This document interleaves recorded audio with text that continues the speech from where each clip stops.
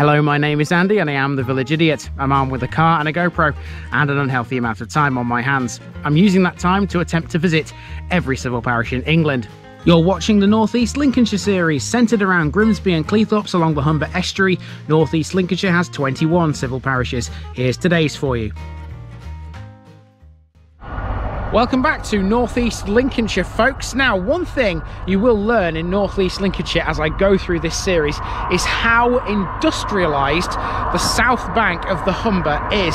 Stallingborough, where we are today, is no exception because there are no end of businesses along the Humber estuary here. One of them is this. That is the South Humber Bank Power Station and that is where we're beginning the parish of Stallingborough.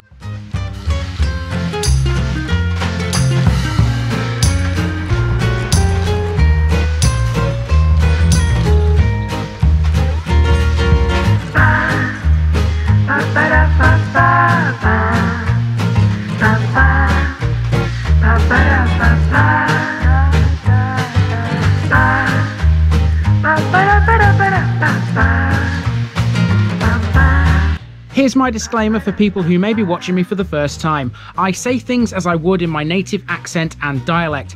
As a result, I may not pronounce things in the same way as the locals do. Remember, I'm a visitor. It's impossible to know everything. Leave me a comment, spin me a like, and bash that subscribe button. Let's get to today's parish video. Welcome to Stallingborough, a village which sits about three and a half miles inland of the Humber estuary, almost on northeast Lincolnshire's border with West Lindsey.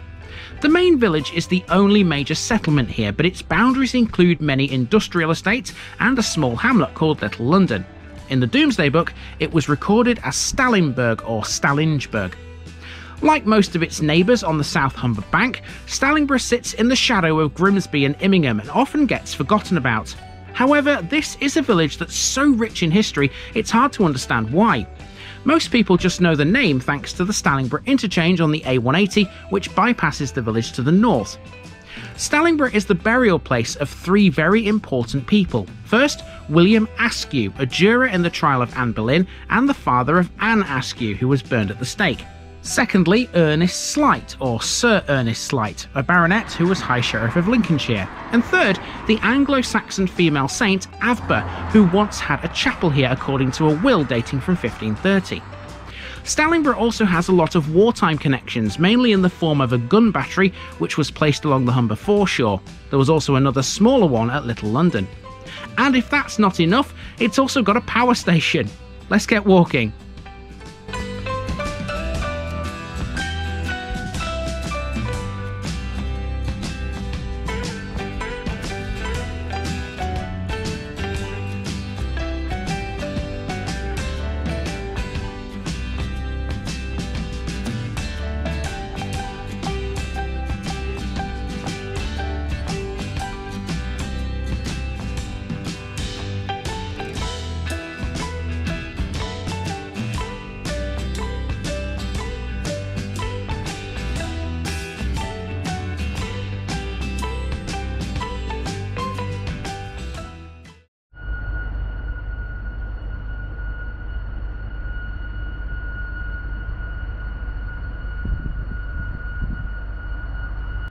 We begin on the south bank of the River Humber. Not that you can see the Humber from here, mind you. This is the South Humber Bank Power Station. Employing 64 people, this power station is owned by EP UK Investments Limited, a daughter company of EP Power Europe, which in turn is owned by the Czech energy group EPH. It was built in the late 1990s. Construction began in 1994 and part of it was completed in 1997. At that time, it entered service, generating 750 megawatts of power. A further 510 was added with the completion of Phase 2 in 1999. Its location on the river is important as it draws its cooling water from the Humber. To generate power, though, it uses natural gas. There are five gas turbines here in all. It was initially owned by a Finnish company, but for a lot of its life it was run by Centrica. EPH would buy the plant from Centrica in 2017, and here we are today. And today you're going to get your special section really early because apart from that power station, there's a lot more industrial things out here in Stallingborough, including another lighthouse. Who would have thought that on the on the uh, Humber Estuary? It's not as if we've seen them before. Anyway, here that all comes in one nice little section for you. That lighthouse was known as Stallingborough Light. It was built in 1849, located in a ferry house on the eastern bank of North Beck Drain, an outlet to the Humber. The northeast of Stallingborough parish is heavily industrialised. In 1953, National Titanium Pigments Limited established a titanium dioxide plant on the site of a former gun battery out here. The battery was used during World War I in much the same way as Fort Paull was on the other side of the Humber estuary. The plant became known as Battery Works. It later became part of a host of other corporations, including Cristal in 2007, who were then acquired by the American chemical company Tronox in 2019. In the 1960s, more chemical plants were built at a site to the southeast of the battery works. These would eventually become Synthomer, which still exists today. And in the 1970s, another industrial area developed to the southwest of the battery works. 88 acres of it is now a vehicle handling site used by Kia Motors.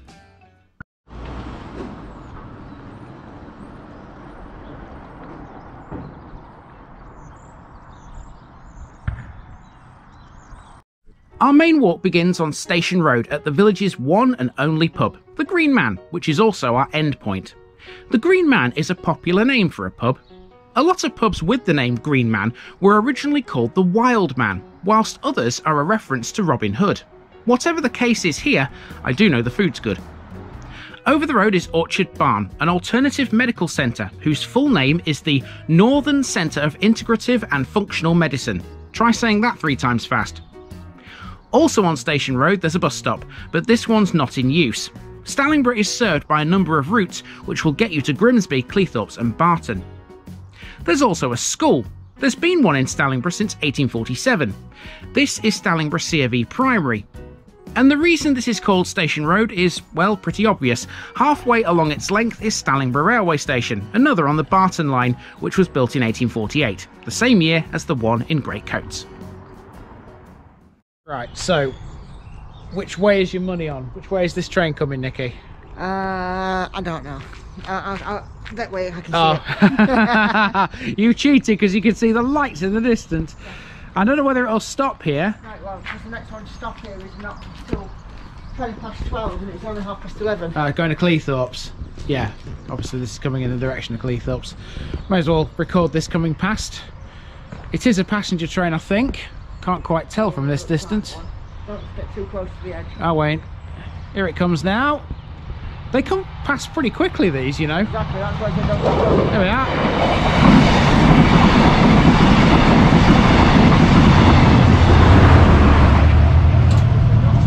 Yes, it is. Yeah, it said it was going to the depot, didn't it? Yeah. Right, let's move on. Uh, hang on, let's wait because the crossing's not going Oh, they're up now. They're up now. Okay, off we go.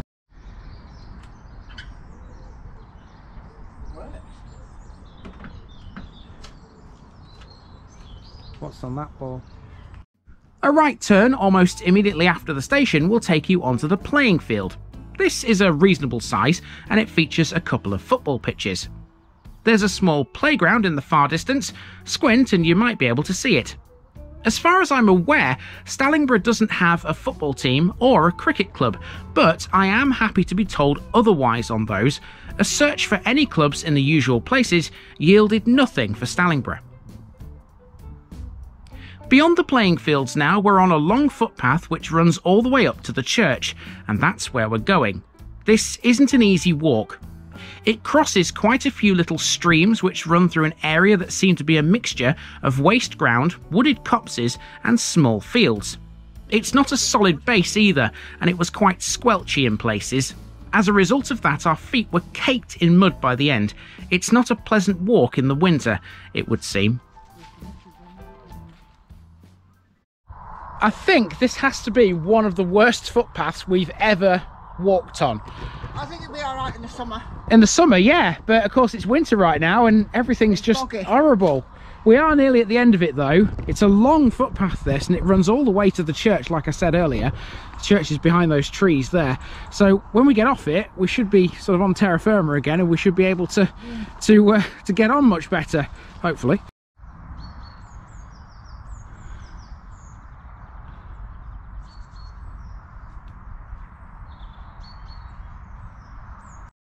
The Church of St Peter and St Paul is a brick-built structure dating from between 1779 and 1781.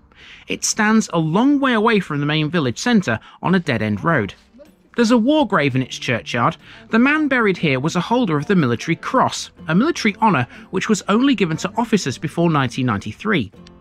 The church is not Stallingborough's first. Predating this, there was a medieval church, which collapsed in 1746, and there was also another small chapel, it was dedicated to St Avbur according to the will of Richard Houghton in 1530.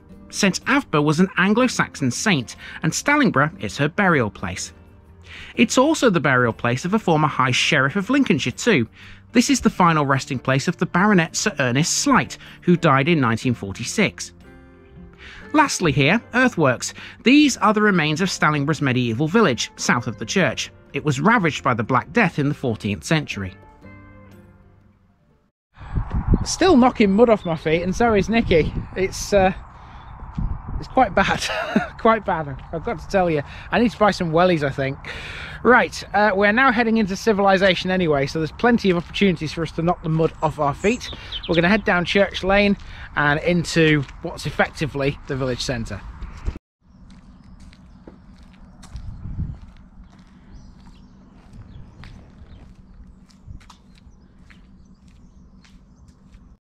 Church Lane now, a long, twisty street with some interesting and characterful old houses. We like this one, Daisy Cottage. There's a link below to see inside. Now, seeing as we're in a residential area, I'll briefly mention Stallingborough's famous family, the Askews, who once lived in a huge, now demolished mansion. William Askew is buried in the village. He was a juror in the trial of Anne Boleyn, and his daughter Anne was burned at the stake in 1546. Her story is told in the South Kelsey episode, linked in today's end screen.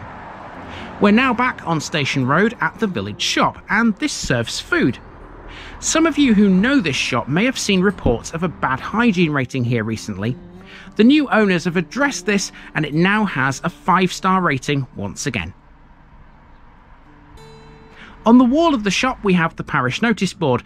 Mark off Stallingborough, everyone. That's three down and 18 to go in northeast Lincolnshire. So the shop is uh, also partly a hair salon. As you can see at the end here, there's the The Salon, rather imaginatively named. And in the wall of The Salon, you have a recessed post box. And this one is George V. Now, Nikki has gone off that way uh, I'll see her again at the railway station. I am going this way because there's a few interesting things to catch down here. One of which is quite a long walk away and you'll see what I mean in a few moments.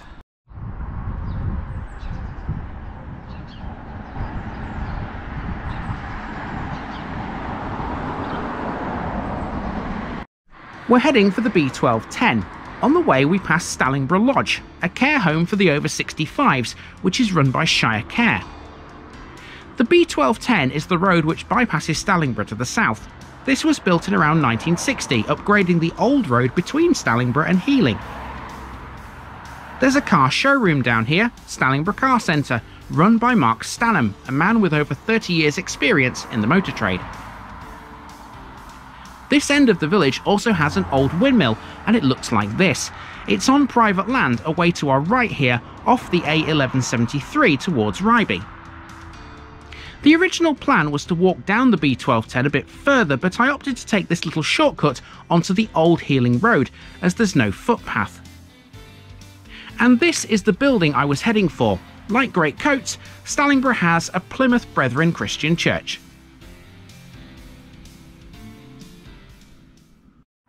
So you can see here where the old Healing Road used to go. There's a footpath these days at the end of the road there which takes you onto the current Healing Road and this is the old road. And we're going to follow the old road back for a short way. There's a footpath on the right which will take us through a housing estate which you can see over there. There's a few other odds and ends to catch before we reconvene with Nikki at the railway station.